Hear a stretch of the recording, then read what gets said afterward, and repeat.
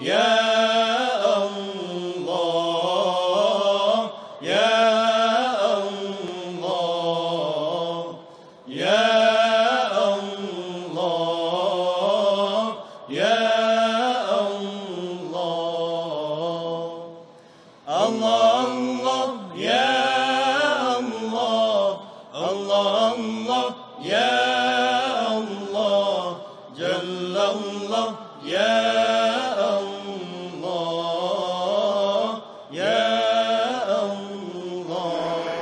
नमाज़ जो एहतियात है, हम कैसे पढ़ेंगे नमाज़ एहतियात? नमाज़ एहतियात सुबह की नमाज़ की तरह है। नीयत ये होगी कि मैं फलान शेख की वजह से दो और तीन, या तीन और चार, ठीक है? या दो और चार, इनमें शेख होने की वजह से दो रकात, या एक रकात नमाज़ एहतियात पढ़ता हूँ, वाजिब फरबता अल्लाह ठीक है? पहली चीज़ नीयत, उसके बाद अल्लाह अकबर तकबीर। उसके बाद अलहम उसके बाद रुकू, उसके बाद दोनों सजदे, उसके बाद सला तशहुद, उसके बाद सलाम ठीक है? ये अब हम करेंगे तो फिर नमाज़ पूरी हो जाएगी। हमारी एहतियात ये एक रकात हो तो भी ये सारी चीज़ें हैं, दो रकातें हो तो भी ये सारी चीज़ें हैं। ठीक है? ये सात चीज़ें, चाहे एक रकात हो उसमें भी होनी चाहिए, चाहे दो रकात हो उसमें भी। लेकिन कुछ चीज़ें ऐसी हैं कि जो नमाज़ एहतियात में हमें छोड़नी पड़ेगी। नहीं है। नंबर एक नमाज़ एहतियात में सूरा नहीं पढ़ेंगे, सिर्फ़ अलहम पढ़ेंगे। ठीक है? नमाज़ एहतियात में सूरा कुल अल्लाह कोई सूरा नहीं पढ़ेंगे अलहम खत्म। नंबर एक। नंबर दो अच्छा जी। नंबर दो ये है कि कुनूत नहीं है। बाकी हर नमाज़ में कुनूत है ना? हर दूसरी रकात के बाद हाथ बुलंद करके हम कुनूत पढ़ते हैं, जो दुआ पाने आती है। नंबर दो, इसमें कुनूत नहीं है। ठीक है? कुनूत नहीं पढ़ना। नंबर तीन इसको बिल्कुल आहिस्ता पढ़ना है। बुलंद आवाज़ से ऊँची आवाज़ नहीं पढ़ना नंबर चार नीयत को भी जबान पे नहीं डालना बाकी अजर की ज़ोर की कोई भी नमाज़ आप अगर जबान नियत जबान पे लाए मसलन मयत की नमाज़ है आप जबान पे नियत लाए मैं कि ज़ोर की नमाज़ पढ़ता हूँ आज अल्लाह। इस मयत की नमाज़ ज़्यादा पढ़ता हूँ आज अल्लाह। जबान पे ला, लाए तो ला सकते हैं नमाज़ सही। लेकिन नमाज़ एहतियात की नीयत जबान पे नहीं लाना दिल में तो इरादा ही काफ़ी ठीक है? ये चार पाँच ये है कि इतनी आहिस्ता नमाज़ पढ़नी है कि यहाँ तक बिस्मिल्ला भी आहिस्ता पढ़ना है। बाकी हर नमाज़ में बिस्मिल्लाह बुलंद आवाज़ से पढ़ना मुस्ताब है। ज़ोर हसिल में। मसलन क्या है? जहाँ नमाज़ बिल्कुल आहिस्ता पढ़ी जाती है, वहाँ बिस्मिल्लाह बुलंद आवाज़ से पढ़ना मुस्ताब है। हर नमाज़ में बुलंद आवाज़ से पढ़ना मुस्ताब है, मगर नमाज़ एहतियात में बिस्मिल्ला भी आहिस्ता पढ़नी है। तो ये पाँच चीज़ें हैं जो नमाज़ एहतियात में नहीं है, बाकी सारी चीज़ें नमाज़ एहतियात में है। अच्छा। अब ये नमाज़ एहतियात का तरीका हो गया। एक रकत आप पढ़ेंगे, दो रकात का तरीका तो आपको आएगा। एक रकत अगर आप पढ़ेंगे ना मसल आपको शक होता है कि मेरी तीसरी है कि यह चौथी। जहाँ पर भी शक हो जाए कि नमाज़ सही है, चार समझ के नमाज़ को खत्म कर दे। ये एक बात जहन में रख ले। नमाज़ एहतियात जो हम इस नमाज़ के बाद पढ़ते हैं ये उस नमाज़ का हिस्सा है जो हम पढ़ चुके हैं। ठीक है? मैं मसलन पढ़ रहा हूँ ईशा की नमाज़ पढ़ रहा हूँ। अब मुझे शेक हुआ कि मेरी ये तीसरी रकात है या चौथी रकात है। अब मुझे क्या करना चाहिए? मैं चौथी समझ के नमाज़ को मुकम्मल करूँ। अस्सलाम वालेकुम रहमतुल्लाह बरकातू मैं कह दूँ, उसके बाद इधर उधर नहीं देखना है। बातें नहीं करनी है। वज़ू बातें नहीं करना है। अस्सलाम वालेकुम के फ़ौरन बाद खड़ा होना ठीक है? खड़े होके अब नियत करनी है कि मैं एक रकात नमाज़ एहतियात पढ़ता हूँ, वाजिब फजल अल्लाह अकबर। ठीक है? अल्लाह अकबर के बाद अलहम अलहम के बाद रुकू रुकू के बाद दोनों सजदे, दोनों सजदों के बाद तशहद तशहद के बाद अस्सलाम वालेकुम वरहमतुल्लाह वबरकातुहू। नमाज़ एहतियात हो गई। अगर कोई नमाज़ वाजिब और नमाज़ एहतियात के दरमियान फासला डाले या इधर उधर देखे, बातें करे तो ना वो नमाज़ एहतियात पढ़ सकता है, और जो नमाज़ पढ़ी गई है, वो भी बातें करे मेरी बात समझ रहे आप? नमाज़ एहतियात इधर थोड़ा सा समझने की बात है? माली विशाल मुझे शक हुआ। इसलिए कि चौथी है। मुझे करना चाहिए कि मैं चार समय की नमाज़ मुकम्मल कर लूँ, उसके बाद फ़ौरन एक रकम नमाज़ एहतियात करूँ। लेकिन मैंने पहली नमाज़ को तो चार समझ के मुकम्मल किया। मुकम्मल करने के बाद इधर उधर देखा।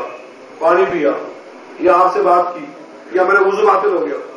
अब जब मेरा वज़ू बातिल हो जाए, या इधर उधर देखूँ, कोई शर्त खत्म हो जाए, ना मैं नमाज़ एहतियात पढ़ सकता हूँ, और जो नमाज़ ईशा मैंने पढ़ी है, चार समझ कर वही बातिल है। मुझे नए सिरे से पढ़नी पड़ेगी। उसके लिए शर्त यह है कि नमाज़ एहतियात को नमाज़ वाजिब से मिला के पढ़ी जाए, दरमियान में कोई ऐसा काम न करे, जिससे नमाज़ बातिल हो जाती है। ठीक है जी? ये बात खत्म हुई अब नमाज़ एहतियात दो रकत पढ़ना है तो एक रकत मुकम्मल करके दूसरी रकत, उसके बाद सलाम खत्म हो गया अच्छा एक मसला खत्म हो अब एक मसला यह है कि सजदे साहो सजदे साहो भी मैंने कहा था कि दो जगहों पर वाजिब है। एक, चार और पाँच में शेख हो, दोनों सजदों के बाद तो नमाज़ सजदे साहो वाजिब है। एक, आपको शेख हो जाता है, कहाँ पर? पाँच और छह में क्याम की हालत में, वहाँ पर भी सजदा वाजिब है। ठीक है? इसके अलावा पाँच इनके साथ पाँच मकाम पर सजदे सहो करना वाजिब है नमाज़ में। बाकी हर जगह जो है, या मुस्ताहब है, या मुस्ताहब नहीं है। ठीक है? चलो पाँच जगहों पर सजदे सहो वाजिब है। नंबर एक, नमाज़ में। कहाँ कहाँ वाजिब है? नंबर एक, अगर नमाज़ में कोई जान बूझ कर बातें करे, नहीं, जान भूल कर भूल कर बातें करे, ठीक है? ख्याल ही रहा, नमाज़ पढ़ रहा था मैंने बात किया आपसे, भाई, पानी पिला। इधर आओ, उधर जाओ। कोई बात की दुनियावी ज़िक्र नहीं।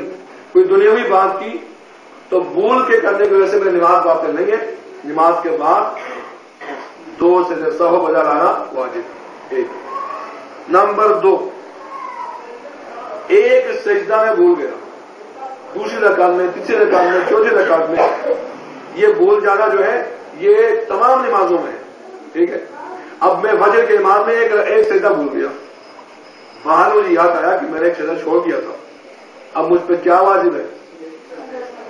सबसे पहले उस सजदे की कजा, ये भी मैं बताऊँगा सजदे की कजा का तरीका क्या है? सबसे पहले जो सजा में बोल चुका हूँ, उसकी कजा वाजिब है। उसके बाद दो सजा बजा लाना है। तब मेरी नमाज़ की खड़ी पूरी हो जाएगी। ये दो। अच्छे। तीसरा ये है कि वही जो नमाज़ में शक हो जाए चौथी है कि या पांचवी? दोनों सजों के बाद यहाँ भी शेष वाजिब है। या शक हो जाए क्याम की हालत में चार पा, पाँच है कि छह यहाँ भी शेष वाजिब है। ये कितनी जगह हुई? तीन। ठीक है? चौथी जगह जहाँ पे एहतियात वाजिब है हमारे लिए वाजिब है लेकिन मुश्तैद ने एहतियात वाजिब लिखा। है हमारे लिए वाजिब है कि हम उस पर अमल करें।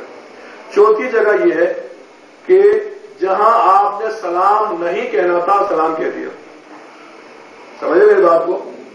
आप ईशा की नमाज़ पढ़ रहे हैं ईशा की दूसरी रकात के बाद तशहद पढ़ते हैं। अब तशहद के बाद जब आप कहते हैं ना अल्लाह मोहम्मद मोहम्मद, क्या करते हैं उसके बाद? खड़े हो जाते हैं तीसरी और चौथी के लिए। लेकिन आप भूल गए। आपने समझे, यही आखिरी नमाज़ है, आखिरी रखा है।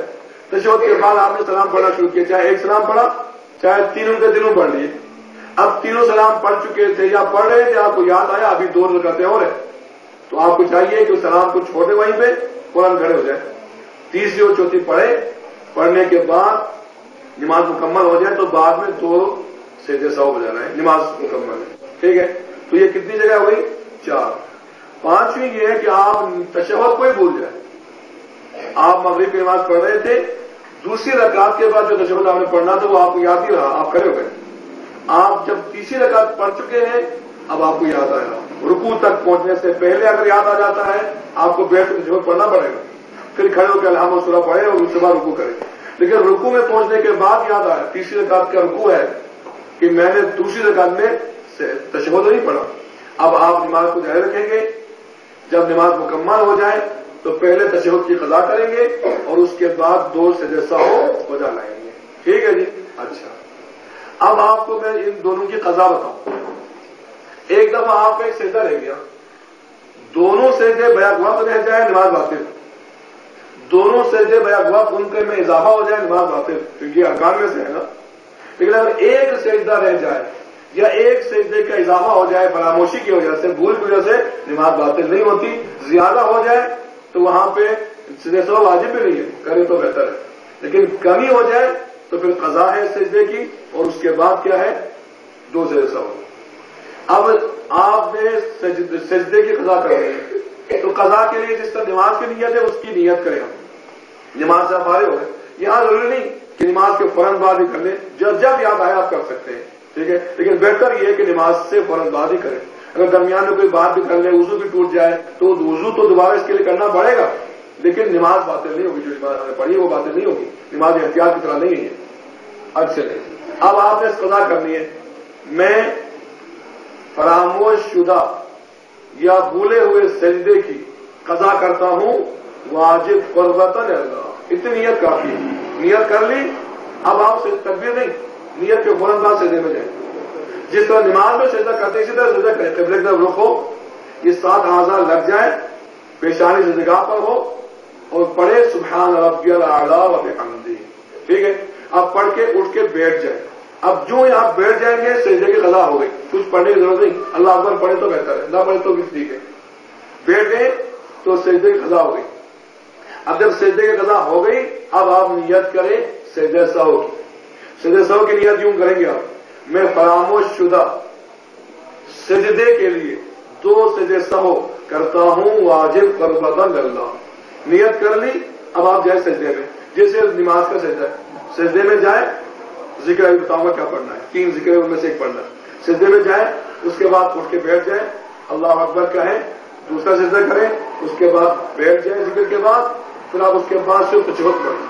अल्लाह शरीक मोहम्मद अब्दू रसूल इसके बाद, अस्सलाम वालेकुम वरहमतुल्लाह सौ भी हो गया, और सिद्ध कजा सिद्ध फरामशुदा की कजा भी होगी इसी तरह आपने तशहद की गजा करनी है। जो तशहद दूसरे दूसरे दूसरे सजदे में या दूसरे रिकात में आप तो आप भूल गए। या ये है कि आखिरी रिकात में आप भूल गए। तशहद आप भूल गए, आप बैठ के अस्सलाम वालेकुम पढ़ के नमाज़ खत्म कर ली। बाद में याद आया कि मैं तशहद पढ़ी पढ़ा ही नहीं है। अब आप कजा करेंगे। चाहे दोनों तशहद कजा हो जाए, चाहे एक हो जाए, दोनों हो जाएँगे तो हर एक के लिए कजा भी है, हर एक के लिए सजदा भी है। एक हो जाए, उसी एक के लिए कजा है, फिर उसी एक के लिए सजे सब है। अब उसकी नीयत ये नमाज़ के बाद। आप नियत करें कि मैं फरामोश शुदा बुले हुए तशबुद की कजा करता हूँ, वाजिब करबदल अल्लाह। नियत की, दो दानों कबला रोकर बैठ दें बैठ के आप पढ़ेंगे अशद वहदला शरीक वशद मोहम्मद अल्लाह मोहम्मद वाल मोहम्मद। कजा हो गई, ठीक है? अब इसके बाद आपने फ़ौरन नियत करनी है, दो सदस्यों की कि मैं तशहद फरामशुदा के लिए। दो सौ करता हूँ, वाजिब और कुर्बतन अल्लाह। अब आप जाए सजदे में पहला करें, ज़िक्र पढ़ें उसके बाद बैठ जाए अल्लाह अकबर, थोड़ा वफा उसके बाद दूसरा सजदा करें, ज़िक्र पढ़ने के बाद आप उठ के बैठ जाए तशहद पढ़े, अस्सलाम वालेकुम। अब ये सजदे सौ भी पूरा हो गया। ठीक है? अब सजदे सौ में क्या पढ़ना? अगर सजदे की कथा है तो उसमें तो आला हम पढ़ेंगे। तशहद की कजा है तो तशहद तो पढ़ेंगे। लेकिन जो सैद सौ है, इन पाँच मकाम के लिए, वहाँ पे हमने सैद दोनों सैदों में क्या पढ़ना है? तीन ज़िक्र है। इन तीन ज़िक्र में से दो बराबर है और एक जो आखिरी ज़िक्र मैं बताऊँगा, वो इन दोनों से अफजल है कि उस ज़िक्र को पढ़ा जाए। पहला ज़िक्र यह है कि बिस्मिल्लाह वबिल्लाहि वसल्लल्लाहु अला मुहम्मद व वसल्लल्लाहु अला मुहम्मद व आलि मुहम्मद। ये दूसरा ज़िक्र। बिस्मिल्लाह अल्लाहुम्मा सल्लि अला मुहम्मद व आलि मुहम्मद। ये दो। इन दोनों से जो बेहतर है, सवाब जिसका ज़्यादा है, वो ये है कि बिस्मिल्लाह अस्सलाम अय्युहन व रहमतुल्लाहि व बरकातुहू। ये तीन ज़िक्र है। इनमें से जो आप पढ़ना चाहें, बिस्मिल्लाह बिल्लाहि, व सल्लल्लाहु अला मुहम्मद व आलि मुहम्मद बिस्मिल्लाह अल्लाह अला मोहम्मद वाल मोहम्मद या बिस्मिल्लाह अस्सलाम नबी वरहमतुल्लाहि वबरकातुहू ये ज़िक्र पढ़ के बैठ जाना है, फिर उसके बाद दूसरा सजदा, उसमें भी यही ज़िक्र पढ़ना है। ठीक है जी? तो ये है सजदे की कजा और उसकी, उसके लिए सजदे सब तजहद की कजा, उसके लिए सजदे सब है ठीक है? और जहाँ पर नमाज़ एहतियात वाजिब है एहतियात है, वो उसके लिए तरीका। और उसका पढ़ने का तरीका। तो ये जहन में रख लें, चूँकि ये नहीं करना, कर सकते आप। अगर आपको शेक हो जाता है कि मेरी ये तीसरी की चौथी है, आप फैसला नहीं कर पाते। तो यहाँ पे कुछ लोग ऐसे हैं कि नमाज़ को तोड़ देते हैं। ये गुनाह है। नमाज़ को तोड़ना, मेरे ख्याल में मैंने बताया था कि चंद जगह, चार जगह है जहाँ पर हम नमाज़ तोड़ सकते हैं। इसके अलावा कहीं भी नमाज़ को नहीं तोड़ सकते। बातिल हो जाए तो हो जाए, लेकिन तोड़ना बहुत बड़ा गुनाह है। ठीक है? अब जिसको शेक हो जाता है, वो नमाज़ को तोड़ ले गुनाह कर रहा है। अगर कि वो नए से नमाज़ पढ़ेगा, लेकिन नमाज़ तो हो जाएगा ना नमाज़ तोड़ने का गुनाह उस पर रहेगा। इस वजह से हमें इन शकियात के मसाइल से आगाह होना चाहिए, ताकि हमारी नमाज़ तोड़ने की वजह से हम गुनाहगार ना हो। नमाज़ भी पढ़ ले गुनाह भी हो जाए। ये तो अच्छी बात नहीं है। बल्कि नमाज़ पढ़े तो नमाज़ तो गुनाहों से रोकती है। इन सलाता तनहा अलफाशा इवल मुनकर। नमाज़ इंसान को बुराइयों से रोकती है। नमाज़ इंसान को खुदा की मुखालिफत से रोकती है। नमाज़